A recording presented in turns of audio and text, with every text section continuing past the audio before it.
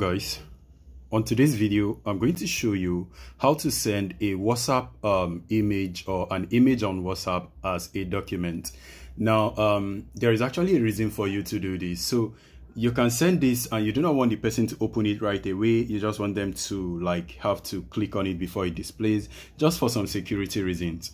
So i'm going to show you guys how to send the regular photos on whatsapp and also how to send send it as a document.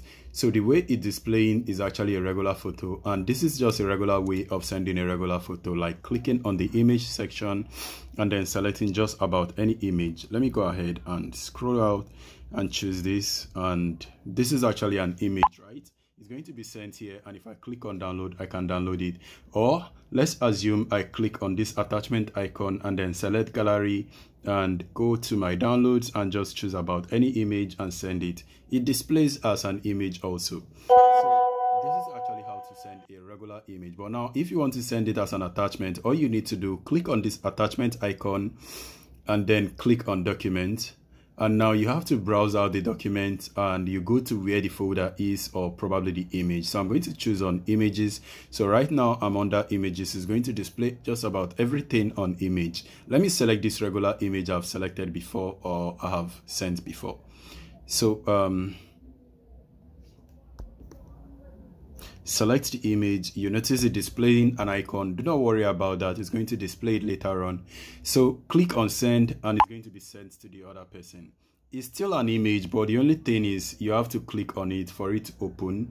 And now you have to actually open it with your regular gallery image right? It displays perfectly but on your whatsapp it just displays this icon and if you're outside there it displays this icon also. So then it looks as if it's a document but it's actually an image. Let me go ahead and send another one from this other device so that you actually get a clear view of what i'm saying.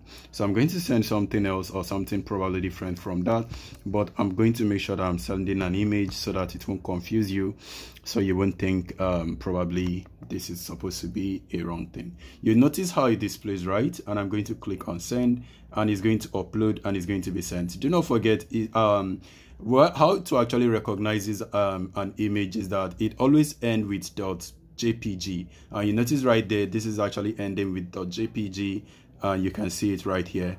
So but then this one will not display the name for you or anything. And also the important of sending images like this or stuffs like this is that when you send it it's actually going to have this um it's going to have this look and the person will not be able to click on it. And also you are going to be able to notice the name of the image just like you're seeing right here. You can see the name of the image and you can easily um, find it on your gallery section. So um, I'm actually having a bit of a slow network so let me allow this to upload and you are going to see the image in display all right so guys the image has been sent successfully and you can see the image right here. So all you need to do is to click on the download button and it's going to start downloading. So once you finish downloading you can now see the image um, display like this. This is actually what i sent. And if you notice right here you are going to see the same image. That is exactly what i sent. And guys this is actually how to send an image as a document. This might not be very useful to everybody but there are um, people um, that ask this question and i decide to share it with my people. So i hope this video is helpful. If it is don't forget to smash like and subscribe to the channel for more video. Guys i will see you on my next video. Stay safe and peace